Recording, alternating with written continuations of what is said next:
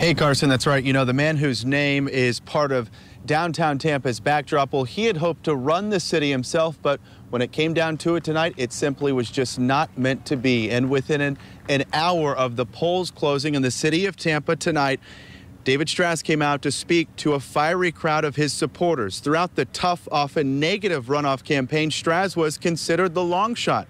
Tonight's voting margins were similar to what we saw in last month's election, giving Castor a commanding win. Straz vows he is now committed to putting this campaign behind him and helping Jane Castor lead the city of Tampa any way he can.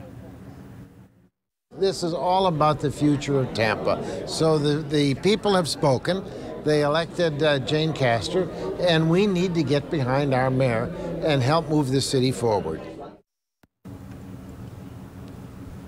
So what's next for Tampa Bay's billionaire businessman? He told us once the polls close the night that he is looking forward to taking a break and spending more time with his family. Live tonight in Tampa, Ryan Smith, ABC Action News.